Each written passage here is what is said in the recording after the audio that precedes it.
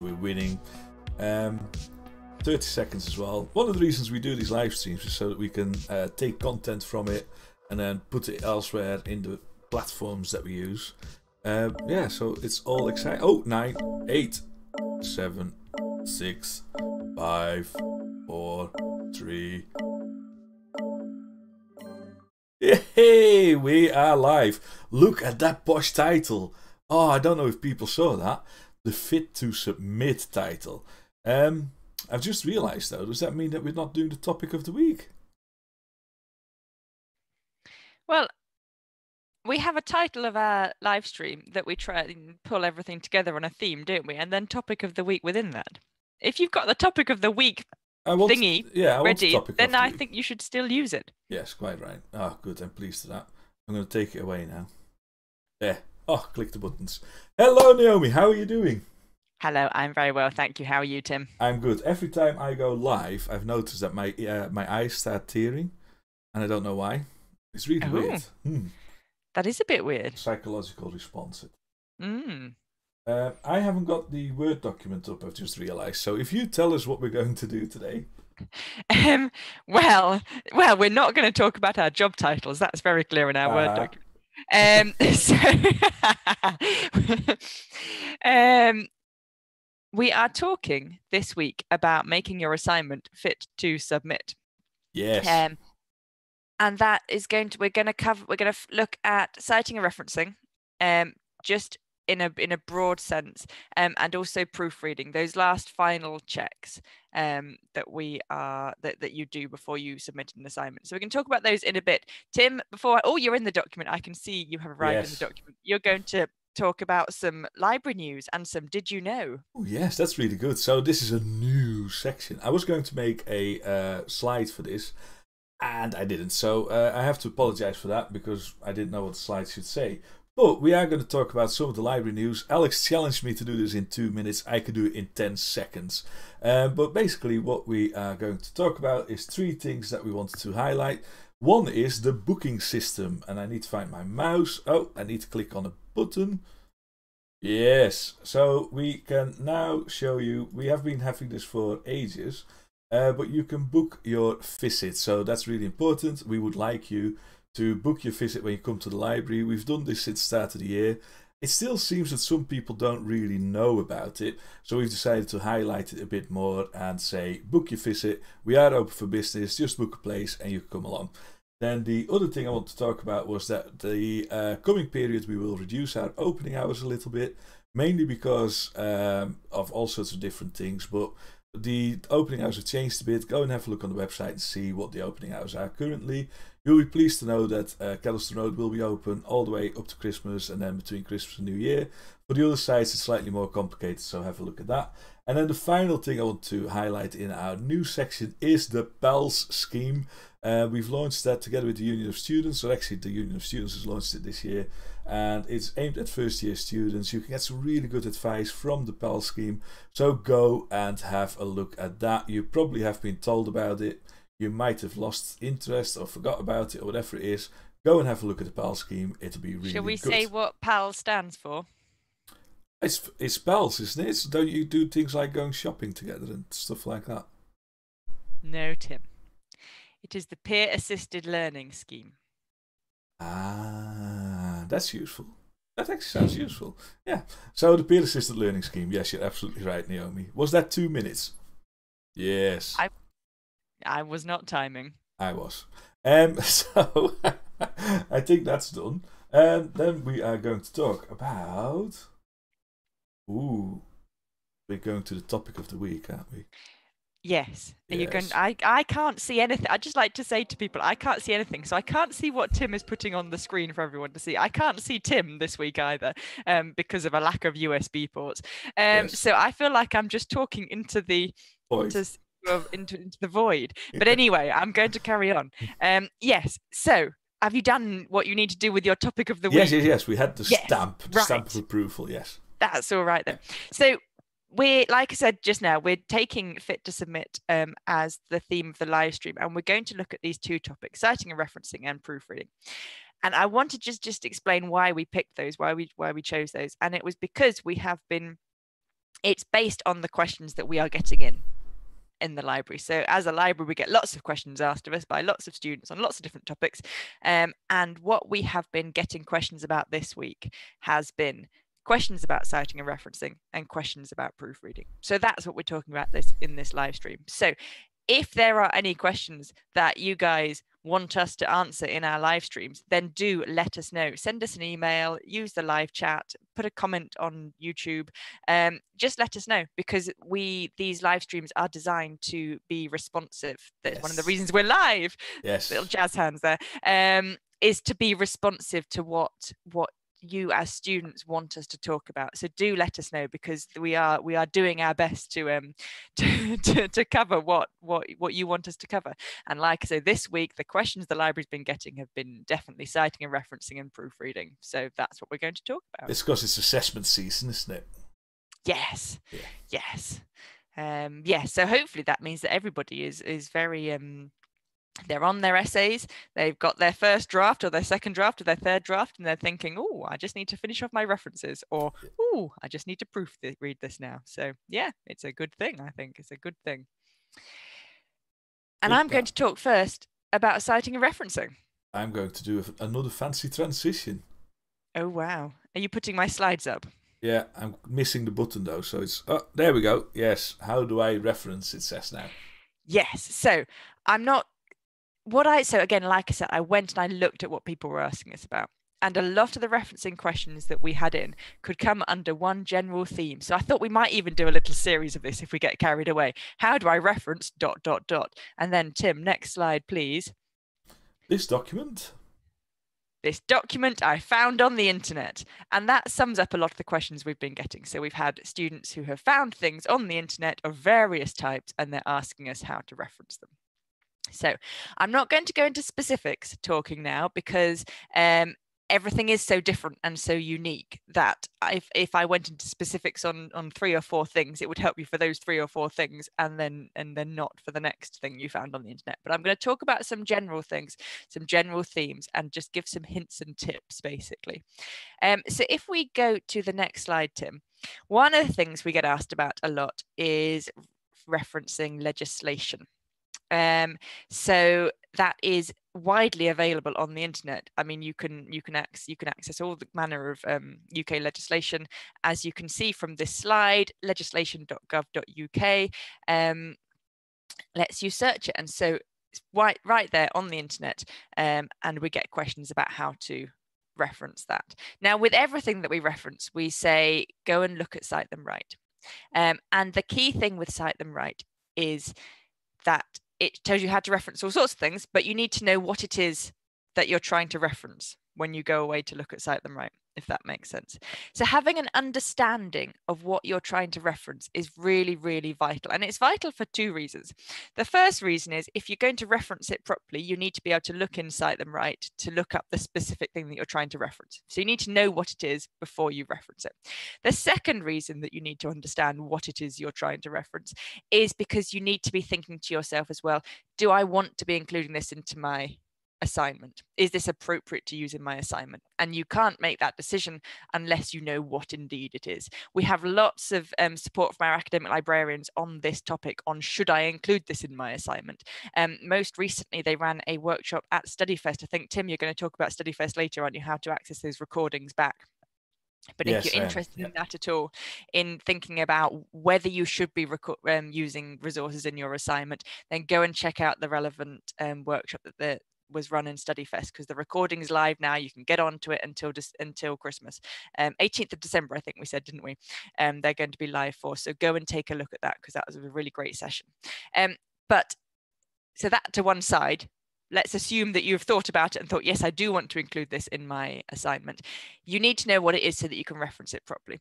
And one the key message i want to give in this in this segment is that there is lots of information out there to help you understand what you're looking at as well so to reference legislation you um, might need to talk about um, chapter numbers for example um, and if you don't know what those are there are ways that you can find out essentially. So this page that I've screenshotted here on this slide, legislation.gov.uk, as you can see, there's there's tabs along the top. That's my smoke alarm going off. You may or may not be able to hear that. Um, my husband is cooking. yes, that's the excuse Um, I always had. Well, I'm clearly not cooking because I am I am here live streaming to the internet. You are indeed, Um, yes. So, tabs along the top. You've got home, so you can search for your legislation, but that next tab is understanding legislation. Loads of useful information here. And if you can see this menu on the left hand side, the second option down is citation and numbering. There is information right alongside that legislation, um, that UK legislation, information about the citation and about the numbering system. I couldn't show you in the same screenshot what the blurb looks like because it was just further down the page and then I missed the menu out of my screenshot. It was causing me issues earlier. But if you go to legislation.gov.uk, find this bit and click on citation numbering, you will get information about the citations, the numbering systems. So it's always worth doing a search on the internet, doing just a little bit of further exploration if you're not sure what it is that you're seeing or what Cite Them Right is asking you to do. Because Cite Them Right will say with legislation, you need to use include the chapter number. And that citation numbering information on legislation.gov.uk will explain what that is. Mm. So it's always worth just going that little step further to understand what it is you're looking at before you think to yourself, oh no, I can't reference this. You can do it, the information is there. Can I? if we- um, I'm just You- gonna... ask a question. Yes, sorry. Yes. Um, one of the questions I get a lot is like, um, what what a certain law is called. So let's say the Mental Health Act. How would you find that on the uh, internet? Are you asking me how I would find it? Hmm. Would you go to this website for that sort of stuff? I would probably put it into a major search engine. Um, starts with G and ends in Oogle. Um, and type in the mental Other health. Search search up. engines are available. Other search engines are available. One starts with G and ends in Duck, believe it or not, because it's called Go Go Duck. Uh-huh. It's called, isn't it called Duck Duck Go? Oh yeah, it is. Ah, this week's sponsor. We should make one called Go Go Duck. we should. It would be brilliant. It's a Derbyshire search engine. It's brilliant. anyway, we'll go to the next slide before we get out of hand. Yes, so that was legislation. The next slide I wanted to talk about was um, command papers, so green and white papers. Again, this is coming directly off the questions that we've been asked um, here at the library. So again, li- literally, I used a search engine that I will not name, and I typed in what are command papers, and I got to this website, um, Parliament website. About how publications government um, was the, the, the, the, the little um, chain that went there. You can see the, the web address that I took this screenshot from. But literally, the information is here, and that's all I did. I went in onto my search engine and put what are command papers, and this information came up. So again, Cite Them Right will tell you for green and white papers, you need to be using the command number. And if you can see at the bottom of this screen, there is CM5860. That's a command number that I took from a green paper. Um, but here we've got the information about command numbers. Um, so it tells us actually why they're called command papers. It's because um, they say on them presented to Parliament by the Secretary of State for blah, blah, blah, by command of Her Majesty. Um, and they all start with CM and then a number. So this paper that I that I took it from is CM for command 5860. So again, if Cite Them Right is saying to you, you need to include the command number, and you don't know what the command number is, take that next step and go and look because this information is here. Like I say, and on this on this page that I put the link to, there were lots of information about what a green paper is, what a white paper is, um, all this information that is useful to you to work out what it is you are looking at. Yeah. Because, like I say, that's the key when referencing. That's the key when thinking about whether you should be including this in your assignment or not. I'm just going to switch the camera real quick now before you carry on with the next slide. Um, okay. I think I never really realized how much information the government government's actually put online.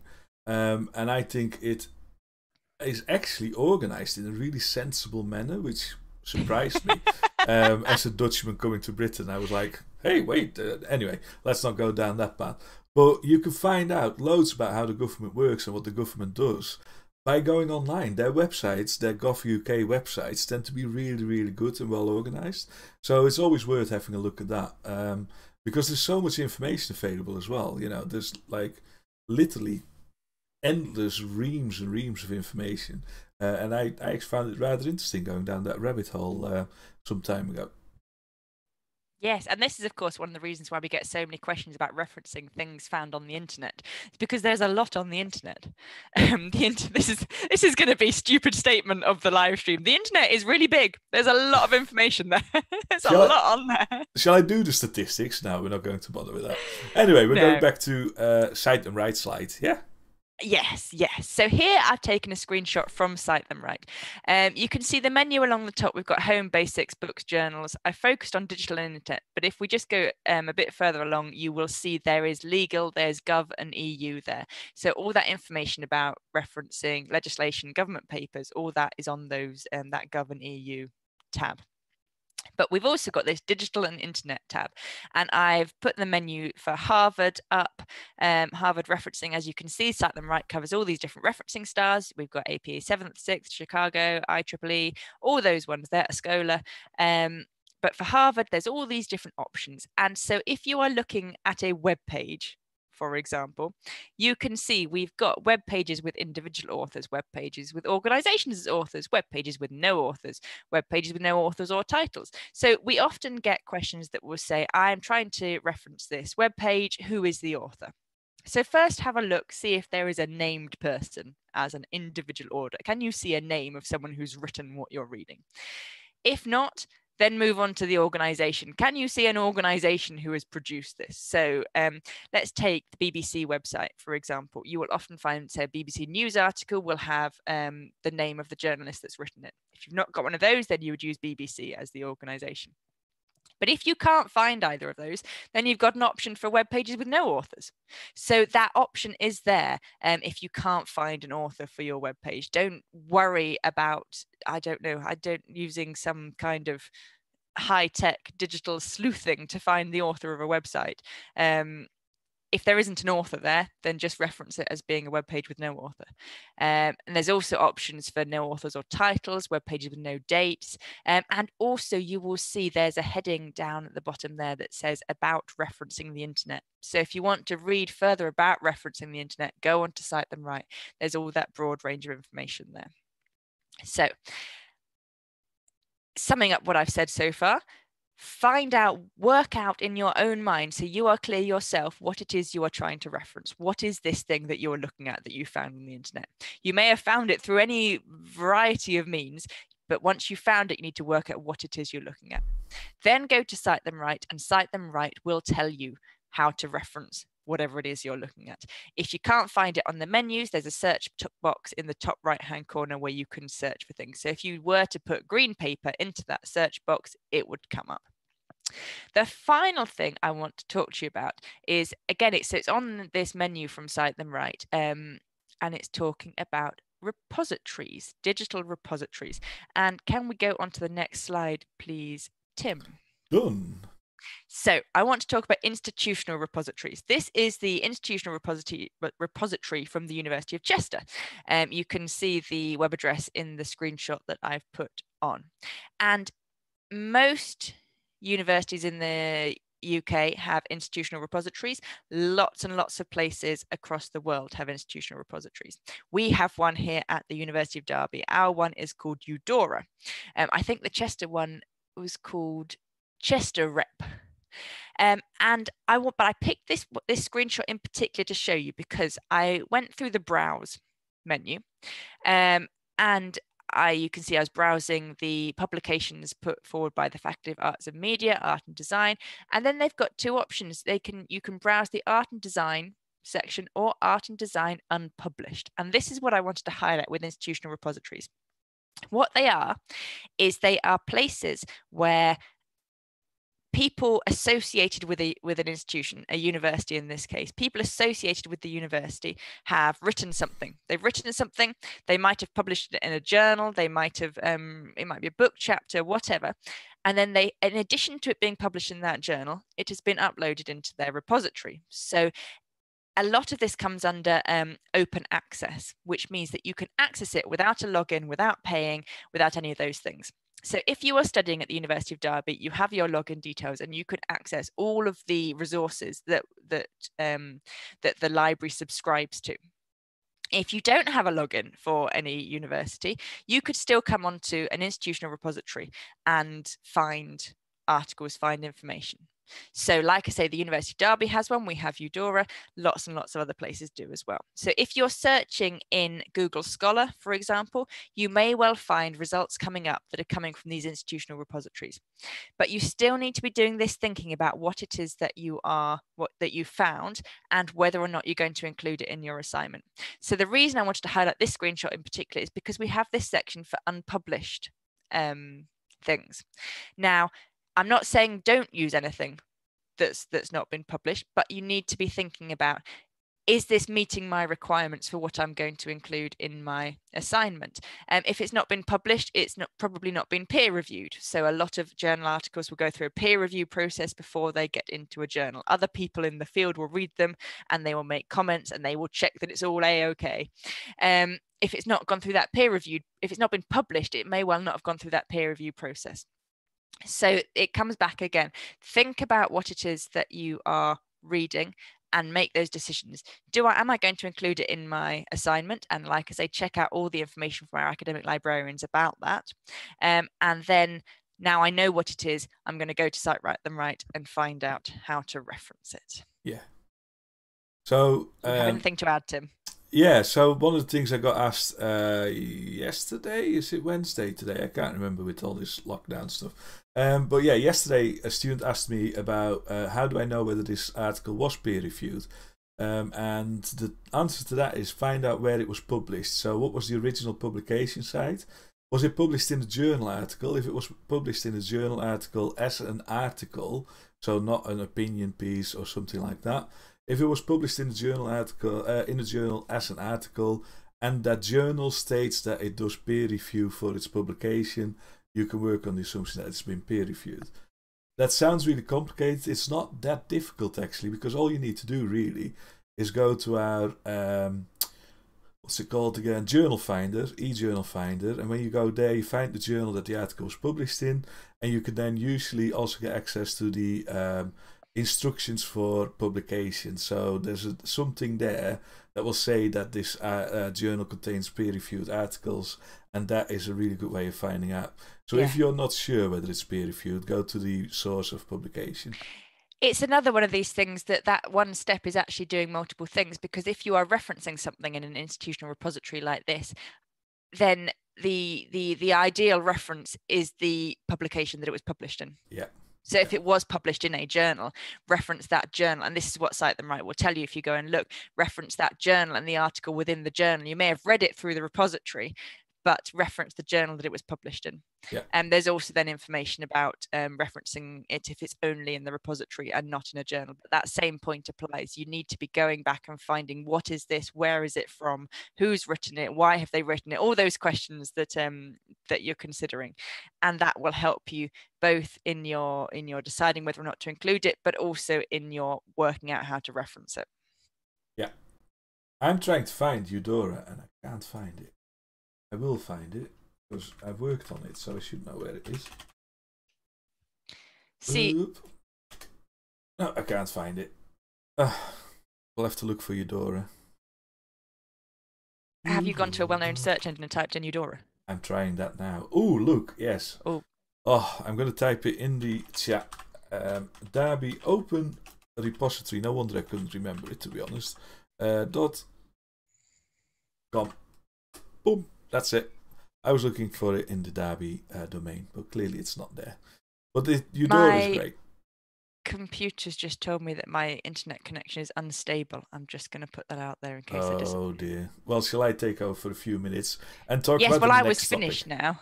Yes, uh, and when you go, we always have unexpected Naomi. um, anyway, so um, I'm going to talk to you about proofreading. One of the things that we get asked a lot um, is Does the library have a service that can help me proofread? Can you help me proofread my work? uh, I would like this to be proofread by someone who knows what they're talking about. Unfortunately, the answer to all of that is no. We don't do proofreading for the very simple reason that there's 16,500 full-time students. Can you imagine the work if we started offering proofreading services? Um, so this stream we're actually going to talk about proofreading uh, because proofreading is part of the making your work fit to submit and we're going to discuss that in some detail. But I just want to highlight that um, yes, the library just does not do proofreading. It wouldn't be fair. We couldn't do it for everybody, and not only that, uh, proofreading is a really important part of your um, skill set. So it's something that you need to learn to do anyway. Um, when you work for an employer somewhere, you wouldn't actually ask uh, ask a colleague to proofread your work, although you might do. But you know, a lot of the time you would have to proofread yourself. So we don't do proofreading at the library. Uh, you can ask, the answer will be no.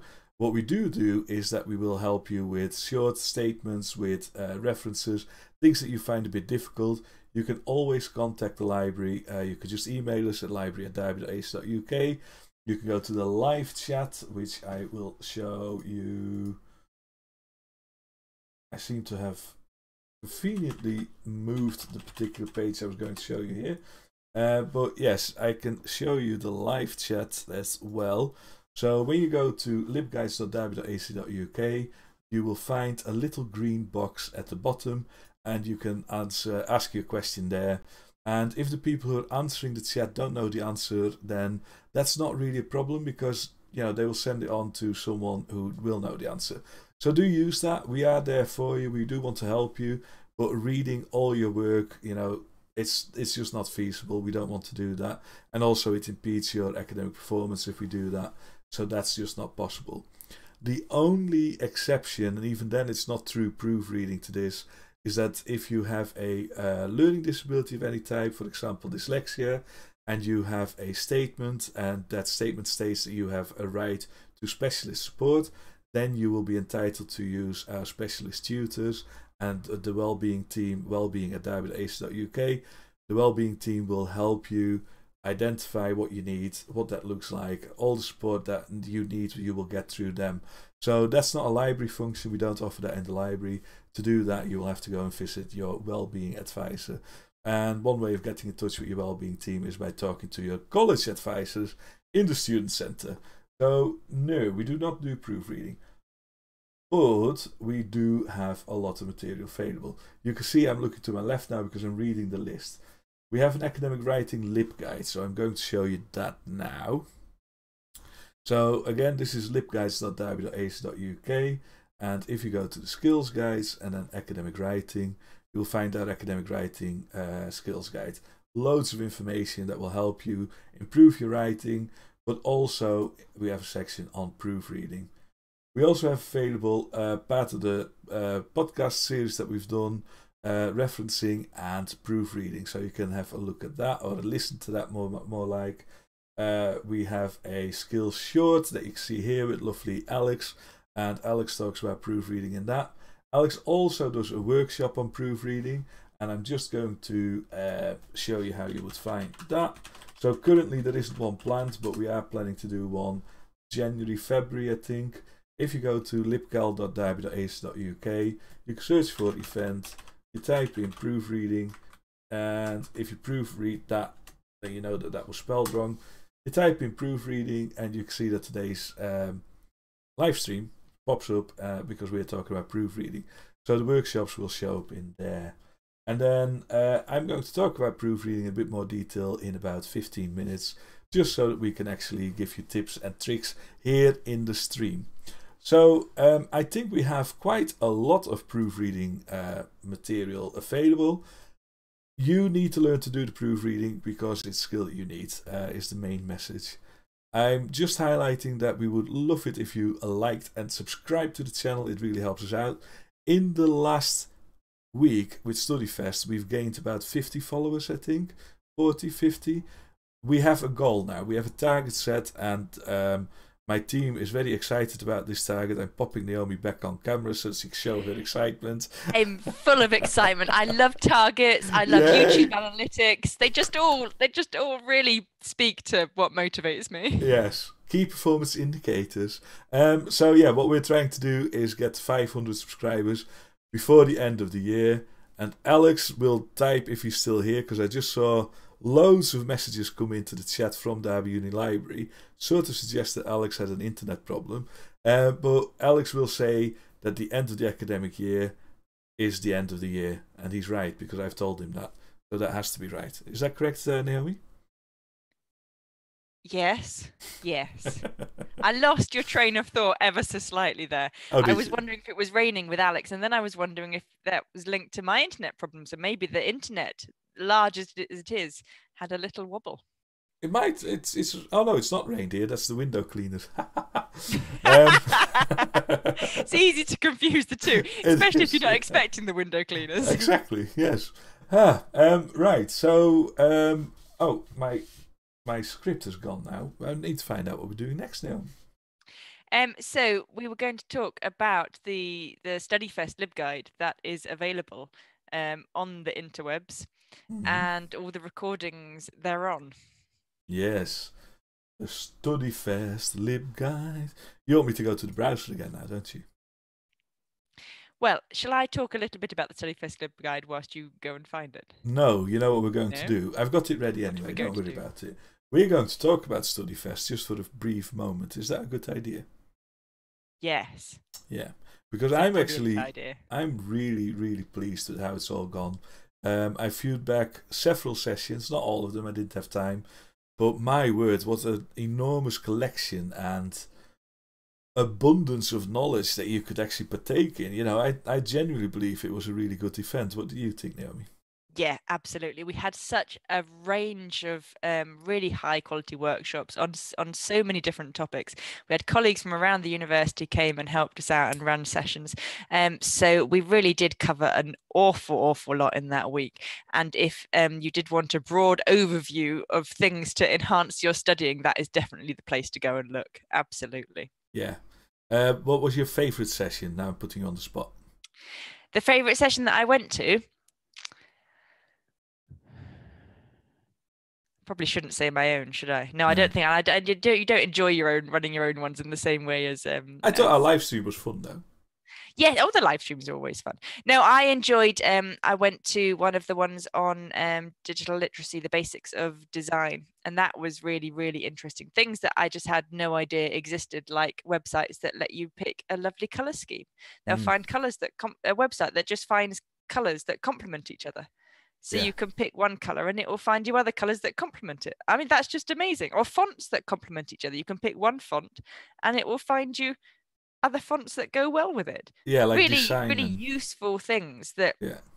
just take the designy element out of it. Does that make sense? Because Yeah. I would have no idea what font went with another font. Um, but there's a website that can tell me. As we've said before, the internet got loads of stuff on it. it has got loads of stuff on it. This is the Um, summary of this live stream. Naomi is, baffles at how large the internet is. Use Go Go Duck, today's sponsor. Um, the uh, the one that I really liked was the Office 365 one. I'm always amazed at how much things you can do with Office 365. It's like it's like an endless source of stuff that I didn't know. You know, let's put it this way: I grew up when um, it wasn't even called Office. I think it was MS Works or whatever it was called in the beginning. Mm, So you had a word processor that basically, you know, Notepad these days is more powerful than that word processor, and it took ages to get anything done. And you know, you always Yeah. used to lose your work because it didn't save properly on a floppy or whatever it was. These days, it's all you know, it's on the interwebs. We keep talking about the internet, and it just works. And there's so many things you can do with it. It's incredible. It's really cool. My sister and I used to play on our computer, and literally it would just be typing letters, and we would type the letters to make different patterns on that known, like say, notepad type thing, and you'd just make pictures. We'd make pictures using the different letters and the symbols. There's and a that's word what for that. For. Do you know what that's called? It still exists. What is it called? It's called ASCII art, A S C I I. And ASCII oh. is the standard for symbols. I can't remember. I used to know what the acronym stood for. Uh, Yeah. Look it up on Go Go Duck. Uh, but yeah, it's uh, basically ASCII is um, what we use for Western letters, so the Latin fonts, Uh-huh. if you like, and then all the associate gubbins, your semicolons, your hyphens, everything else fits into that uh, standard. Um, so yeah, have a look. But you can make entire artworks doing Mm. that. I remember. I'm not saying that we ever did anything that was that spectacular. No, you did. You just didn't realize it. Um, there was a time also way in the past, well before Alex was born. Alex is not with us today, by the way. Well, he is in in uh, person in the background, but he's substitute again. Uh, but before Alex was born, you used to download uh, stuff from the internet, not always legal. Um, and they would come with ASCII art that was really cool because they had like uh, skulls that would spin round. And oh yes, you're taking me back on Ooh. a. It was really good. It was exciting. Yeah, the fact that you could make that just with letters and, and symbols was really cool. And of course, the best game ever made, Dwarf Fortress. I'm geeking out now, aren't I? We're losing the audience. Let's go on to the next topic. Uh, Have you pulled guide. up the StudyFest Lib Guide yet? Yes. I'm trying to remember. Yes. Well done, Naomi. Um, so, this is the uh, library website. Um, I'm just showing you from here because it's the easiest way to get to where we want to be. So, the library website, you scroll down, you go to find subject information, and then uh, you get the lib guides. So, this is the page, whenever I refer to lib guides, this is the page I'm talking about. And then you click on skills guides, which is the section that uh, our team look after.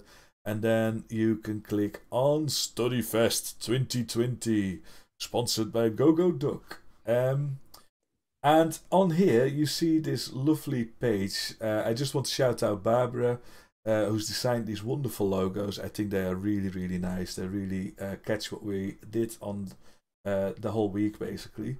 And you can then click on one of these teams. So we've got Studying Online team, the well-being, Library Day, Fundamental Skills, and the Careers and Change. And if you click on, for example, Fundamental Skills, you'll find the digital literacy session that Naomi was talking about before. Which one did you go to, Naomi? The if, uh, storytelling one or the design to support? I went to Basics of Design. I want to watch back the storytelling one. I couldn't make it. Yeah, I want that that's on my on my to do list as well. And remember, you can see them back until the 18th of December. So you still got three weeks roughly. Can you pull up the Library Day page and just show where the um, session is about evaluating resources? Yes, we we just call whilst it you're there. evaluating your sources, not resources. Ah, resources. yes. Mhm. Uh, but yeah, that's there. So uh, again, the uh, library day Wednesday was the library day. Evaluating your sources. When you want to see that, you can click on view the recording through this link, and I'm going to do that now without blowing anything up. It just takes you to collaborate, and then you can see the recording of that session. You can uh, pause it. You can watch it in your own time. If the kids are moaning about baubles in the tree falling down or the cat weeing on the carpet, don't worry about it. You can pause it and continue watching it as you go along. So that's really useful. Um, and like I said, they, they will be available till the 18th of December. So do have a look. There's so many good things there. Um, yeah, I think genuinely brilliant. Uh, you know, from the University of Derby to you, from the library to you, uh, from all our lovely colleagues in Wellbeing, in TEL, which is Technology Enhanced Learning, ITS, uh, Careers, Chaplaincy. uh, chaplaincy, uh, the Eng- English Centre, uh, the and Maths the Hub. aforementioned peer assisted learning leaders. Yes, the Union of Students. Yes. Those sessions weren't recorded just because of the nature of the sessions. It's it's it's peer support. It's um it's designed to be um open and let people ask questions and things. But if you are interested in that support, like Tim said before, and you're a first year student, then go and check out the Union of Students website about how to get in touch with your pal. And the Union of Students of support available generally anyway, so do make use of them. Um, I know that not all students always know about what they do, uh, but they are, you know, they're more than just uh, going out for the night fun or playing sports. They do lots of different things, so do use them. That's what they're there for. Excellent. Right. I'm just looking at the plan, Tim. This is the kind of thing that Alex thinks about beforehand, and he was talking to us already about flow and things, wasn't he? But I was wondering if I should do the grammar topic of the week next, because then it breaks up your talking. I can actually have a bit of a break and drink water. Then that's a good idea. Shall I? i I'll do that then. So uh, don't I don't know if you want to use any snazzy um, animations or anything. But oh yes, yes, yes. Let's do it. grammar topic. of the week. Yep. Oh, let me get it ready. I don't know where it's gone. It might go Oh, all no. wrong. No, it's there. Oh, love your library. Grammar topic of the week. Awesome. With all the So- audio with it. Oh, This week, I am going to talk about homophones and malapropisms. So this came again. I can't say this came directly from a student question. This came from a staff conversation between myself, Alex, and Tim, um, that we had over several workshops. And it was if if anyone, if a really dedicated superfan was attending everything we did, they'd have got the whole conversation about Segway. Um, because Alex and Tim use the word segue a lot. They talk about seg- having a segue from one part of a conversation to another, or as indeed our live streams, a segue from one part of a live stream to another. And I was literally picturing us on one of those little bike things with the wheels that you stand on and zoom around. And I was picturing us zooming from one point to another. And I thought that's what they were talking about. But it turns out that is a completely different word. So the word that Alex and Tim were using, segue, is spelled S E G U E, I think. Um, the thing I was picturing is a brand, a trademarked brand name, and is um, spelled S E G W A Y. have you So- ever? I'm interrupting you. Apologies. Have you ever used a Segway? No, I don't dare. I had one. I'm sure in, I'd uh, fall off. I had one in Riga. You know, one of those tours where you follow someone. Oh, good grief. Yeah. That sounds highly stressful. Well, the fun thing was we were with like uh, Americans from a cruise ship that were at least 70 years old. And the guy who was guiding us, he was a lovely chap, but he made us go forward at like two kilometers an hour, which is actually more difficult than just going full throttle. So I ended up riding circles around this group to just stay, you know, upright. Uh Anyway, apologies for that intervention. I thought it was useful information. Very useful. So that segue and segue in those two forms, that is a homophone. It is they are words that sound the same when you say them, but they are spelt differently and they mean different things. So this is going to tie in wonderfully with proofreading, and I'll get onto that in a second. Malapropisms are words that sound similar and are can be easily confused with each other. Um, so I was talking about institutional repositories earlier. The malapropism that my husband suggested to me when I was talking about this. In fact, I, I, I tell a lie. That was a blatant misrepresentation. What happened? The malapropism that my husband suggested to me when he said you should talk about malapropisms, and I said, "What's a malapropism?" Um, was repository and suppository. They are very different things. Um, a repository is a very different thing to a suppository. They sound similar, they're easy to get confused. So, words that um, that sound exactly the same and are easy to get confused, and words that sound similar and are easy to get confused can really trip you up when you are writing your assignments. And they are things that you will need to look out for when you are proofreading because they are all genuine, valid words. So, a spell check on your um, on the form. Well, we're pulling. See, this is pulling in together all the different ties. Your spell check on Microsoft Word 365 um, will not highlight them because they're real words. So if I used maybe not segue, maybe it would pull up pick up segue. But anyway, it's it's a it's a legitimate word. It's just being used incorrectly. So you need to be concentrating and thinking about these things as you proofread and not rely just on a spell checker to pull everything up. That is my grammar topic of the week.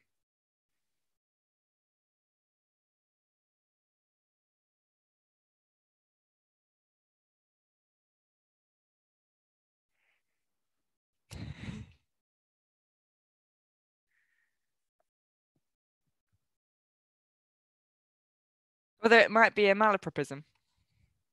No, that no, if it's not a real word, it's not. No.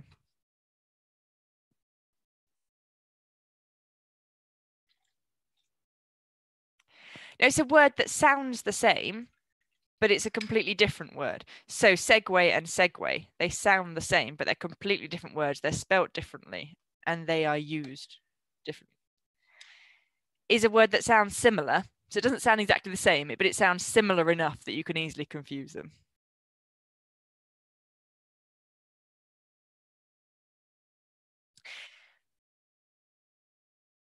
Yes.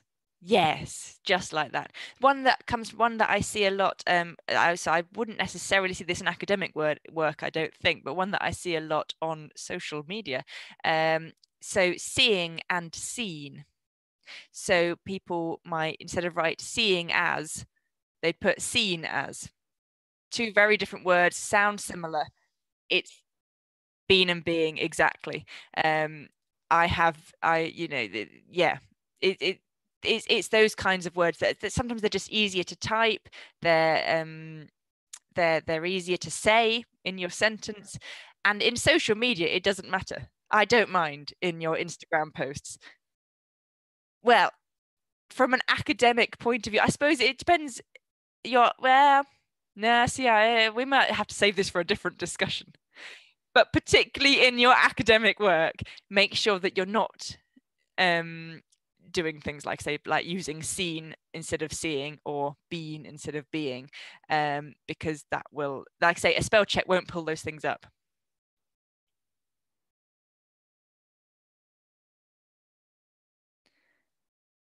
oh alex has told me some time ago five minutes ago that we've lost audio for tim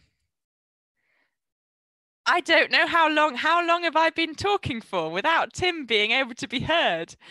Oh dear, and poor Alex. I oh just heard, so Alex word. is communicating oh. with us. I'm going to keep on talking now, just in case you can't hear Tim. You Alex can hear is me communicating now. You can hear me Teams. now. And bless him, he's been typing in capital letters on multiple messages that we can't hear Tim. And I'm Tim muted. and I, because Tim and I have been talking, couldn't hear. Oh, that was a bit no. of a oh, shame. We that do must always have say quite odd. Yeah, we do always say what can go wrong in the live stream me clicking a mute button and then forgetting that I've clicked it is one of those five things. whole minutes.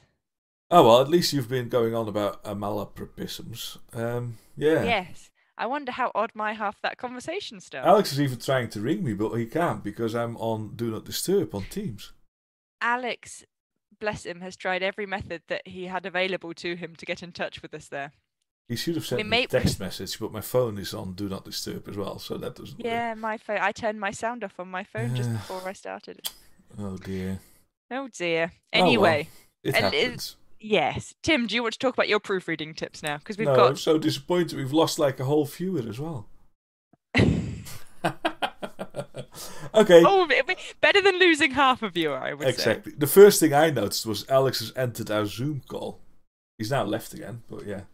Oh, Oh, really? dear. Alex really was trying to, and I didn't He have Zoom up because I can't see Tim. So what would be the point? I know. Right, Oh. Tim, talk about proofreading tips before all the other viewers leave. Let's recover from this in a swift and sensible uh, manner. So, haha, proofreading, yay!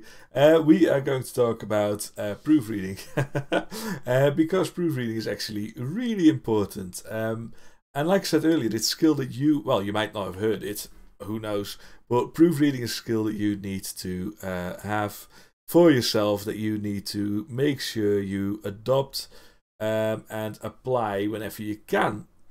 So, proofreading, let's talk about some of the things that you need to check when you are proofreading. The first one sounds simple, but spelling, punctuation, and grammar have to be correct.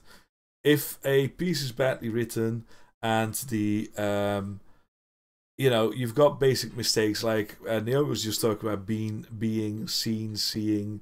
Uh, there's quite a lot of those.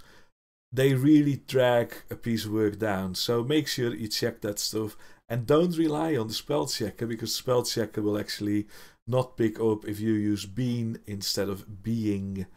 Um, you also need to check whether your work's in the word count. And actually, this was quite a fun one.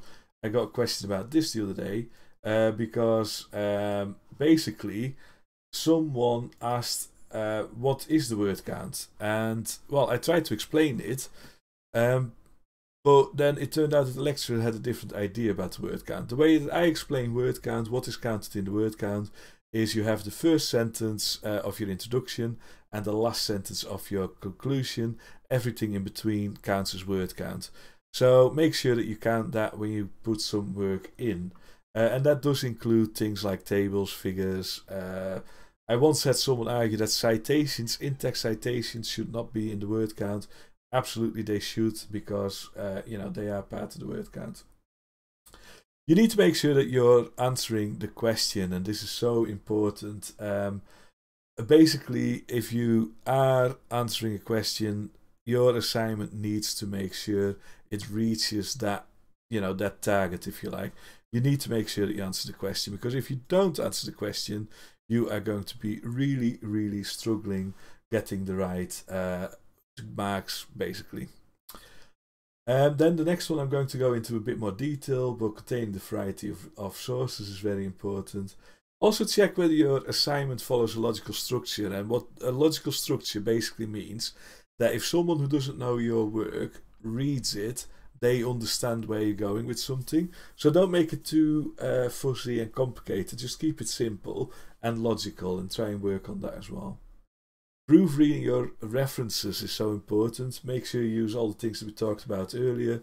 Cite Them Right. Uh, just double check your references.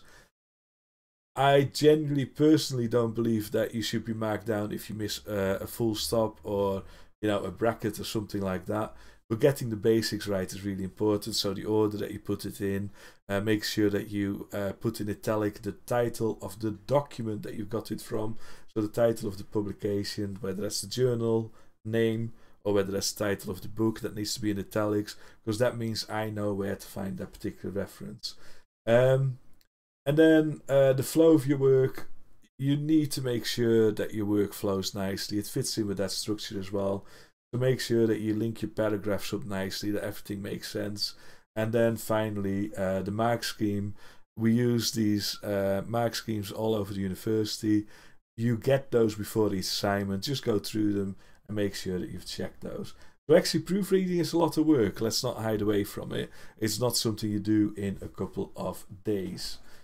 Um, using a variety of sources, then we have so many different sources uh, available to you as a library, as a university, and it is really important that you pick on the right ones. So we've talked today uh, about the uh, website data that you can get, for example. If you are only using the web as a source, you're very likely not going to get good grades because all that you're demonstrating is that you've been Googling, you've not been reading the stuff that you were supposed to read, a lot of the time you will have a reading list. There's a lot of material on there that you want to read. Those are usually really good sources to uh, pick up on. Um, you need to use different source types, so try and mix up, and it depends a bit on the paper that you're writing, but try and mix up journal articles with textbooks, with encyclopedias. You know, different types of sources are really useful most of the time. And uh, read widely. Uh, we've talked about this a million times already, but the more you read, the better your work becomes and the better the answers you give will be. Uh, sometimes you will notice that you actually haven't got all the information that you need. So do do some more research into the area that you're looking into and try and enhance your reference list as well. If you find that you've only used three journal articles and you were supposed to use 10, you will need to find more information.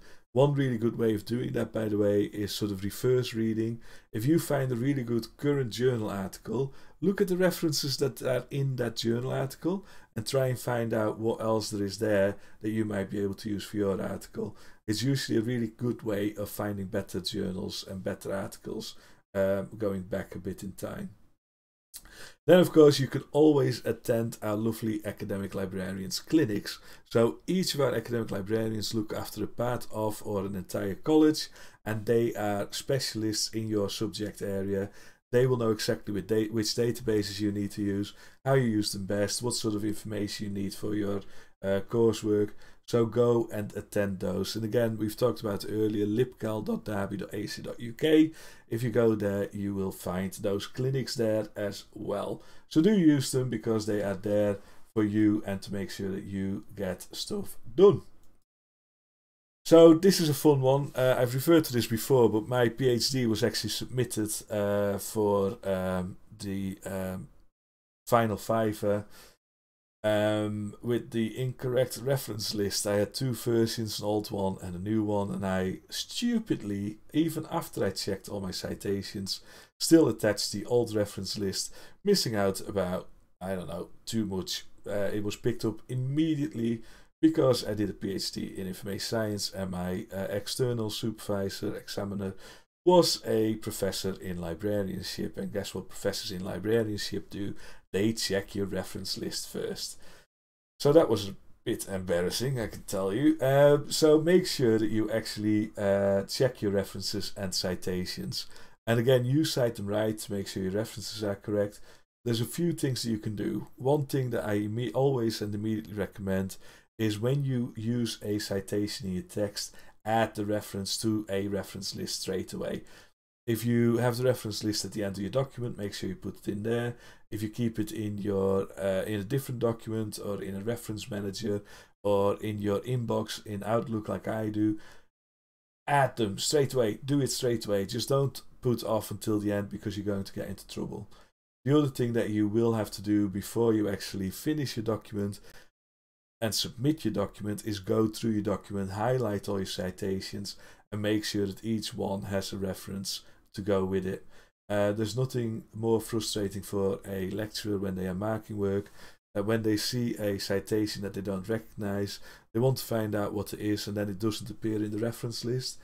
You won't believe how often that happens, and most of the time it's simple user error. That means that you didn't put it in the reference list and it will cost you marks now. Now here's a really good tip um, that again we, we refer to quite a lot and it's so important. We talk about this in the Derby Diamond for example. When you actually know that you have to submit your work, plan backwards as Alex would call it, make sure that you leave time between the time that you finish your writing and the time that you're going to proofread it have a weekend of it. You know, make sure that you do something that's completely different than writing the assignment because you will have fresh eyes. And when you have fresh eyes, you will actually see the mistakes that you didn't see before. If you've been writing on a document for days and days and days, you will simply miss things simply because you know you've been going over it so often you don't pick up on it anymore. So fresh eyes are really important. Having said that, also remember that the first drafts are not perfect. You'll see some numbers here, by the way. That's because I nicked these slides from a presentation that Alex did. Uh, but the first drafts are never perfect. You don't need them to be perfect because you're going to proofread them. So don't worry too much about your first draft not being flowing, not actually having a sensible structure. Uh, it's a bit of a problem, you know. You do need to make sure you try your best in that first draft you don't need to worry about it being perfect because when you go into that proofreading mode, that's when you make those fixes and that's where you will actually get a better piece of work at the end of it. And it depends on your way of working as well, but I recommend that you plan at least two proofreading sessions. So when you actually do your first draft, you leave some time, proofread, rewrite, then leave some time, proofread, rewrite, and then that's the one that you would submit. Um, and that just helps again with picking up on the things that you didn't know that were wrong. We talked about this with, uh, well, Naomi talked about this whilst I was muted. Um, homophones and malapromism, mal, mal, mal, malapromism, malapromisms. Um, spell checkers don't always save the world. They really don't. Um, one of the things, for example, that um, always frustrates me is that a lot of people have their spell checker, checker defaulted onto US English, and all of a sudden organizations uh, get a Z uh, or a Z as we call it in civilized uh, Europe, and basically that really frustrates me because the spell check says, oh, it needs to be a Z. It doesn't. In English, it's with an S. Stick to the S. Don't make it into a Z. Um, so don't rely too much on spell checkers. Also, sometimes I've noticed spell checks are quite keen on fixing your grammar, and actually, by doing so, by proposing something different, they destroy the structure of the sentence. So, again, don't rely on that too much. The final thing I will say about spell checkers, very popular these days, is Grammarly. Um, let's just say that their algorithms aren't perfect, even though they think they are. Uh, it's a nice business model. They make quite a lot of money, but again, don't over rely on it. It's not perfect at all. Uh, the last time I used it anyway, they might have developed a bit since then. Uh, this episode of the live stream is not sponsored by Grammarly. And then finally, uh, some further resources that you might want to look into. So we've got skills guides. I've shown you how to get to them. The libguides.derby.ac.uk. We've got this YouTube channel, and we've got Naomi a new new uh, URL to the YouTube channel. Did you pick up on that? Yes, I was well uh, tremendously excited. Obviously, I just have to say, uh, just for just on Alex's behalf, he's just saying there's a deliberate error on his slide. If anyone, in case anyone thinks that it's an, an actual error on his slide, it's a deliberate error because he's using it to point out that spell Did check I miss it? pick up things. Um, I missed it then, didn't I? I don't know. But anyway, if anyone in watching saw the error in Alex's slide, just let it be known that it's a deliberate error. Right. YouTube, yes, lovely, lovely link, which is brilliant because the- last link was all very long and It didn't make any sense. But this So link is got- short and yes. does make sense. Now we've got youtube.com slash C slash Derby Uni Library with capital D U L. That's easy. I can remember that. I'm really pleased with that. Yes, what does the C stand for? Uh, custom or Yeah. referral. Yeah, I think Awesome. I'm just guessing, but it's basically like you know a Bitly URL uh, that links directly to our uh, YouTube uh, uh, YouTube channel, which is great. I'm really happy with that. So yes, um, YouTube a really good source because you know we're here and that's why it's good. Uh, we have all our podcasts. We have our uh, social media as well. Podcasts you can search on any of your podcast uh, engines that you like. So whether it's Google Podcasts or Apple uh, Music or whether it's uh, Spotify, search for uh, Derby Skills Podcast and you can get it there. Um, I think you can also find it with Derby Uni Library. And then Instagram, Twitter to stay up to date with the latest news. Follow us on Instagram and Twitter. And then finally, our LibCal calendar. You can type out the long version that we've got here. You can also just type in libcal.derby.ac.uk and that will get you into our calendar of events. Ooh. That was a good summary, Tim. Well it done. was, wasn't it? I was trying. It I- was. I was compensating for all my failures earlier on. Oh. Anyway, um, I think that is sort of the end of the live stream. We were worried we wouldn't have enough content today. My word, were we wrong? Huh? I've, we never get get to a point where none of us has got anything to say. I no, don't think we. we could talk. We We've could genuinely talk for three hours. Yeah, yeah. Um, I've had fun though. Despite, I'm I'm going to listen back to this straight away. I want to find out how bad the error was. I'm so guilty. I need an indicator, like a live green and red sort of light that goes on and off when I'm on air or not on air. That's the next thing that you can order for your studio, Tim. yeah, don't tell my wife. She's a bit upset with uh, the amount of money it's cost so far. Um, right. So um, we haven't got any questions in the chat. We are going to leave it here. We will be back next week. Oh, that's something we need to talk about. I completely forgot. Next week, what are we doing, Naomi? Is that when we're doing our behind the scenes? Yes, we're going to talk about uh, the year Behind the 2020. scenes. Yes. So, you know, this has been a weird year for everybody, including the library. And we're going to have a look at what we've done and what we've achieved and, and celebrate some wonderful people in the library who are helping out with a lot of stuff. So that should be really good fun. Um, and then the week after, Christmas. ah, I wish you a Merry Christmas. I need to do a background with uh, baubles then. Yeah. Can we have no singing on What the you mean? Christmas live stream? Oh, Well, apart from anything, YouTube will put adverts on it if we start singing songs. Is that not how it works? uh, we are sponsored, so we don't need adverts. No, but I mean, YouTube doesn't it automatically detect when you've used someone else's song and Oh, it- no, without they- your knowledge? Now they put a copyright claim on if you do get adverts. Yeah, no, we won't get into trouble. We're fine. Um, it's all right. I've got two weeks, everybody listening, to work out another reason why Tim shouldn't sing in the live stream. we wish. no, where was that mute button? How is it that you weren't muted for that, but you I'm were never- muted earlier? I'm never using that again. It's evil. Right. Right, do you think we should end our stream? I think we should. I'm going to transition to the like and subscribe unexpected Naomi now. Well, that went excellent, didn't it, Naomi? No? Yes, Yes. of course it did. I Well- can never tell whether people can still hear me or not. Yeah, they can hear you now. awesome. Yeah, it's just that you know we make mistakes. We learn every day, though. That's oh, absolutely. Good. Oh, I forgot. We need to wave. I'm going back to the camera. Wave. Bye. Love you. See you uh, next week. Bye.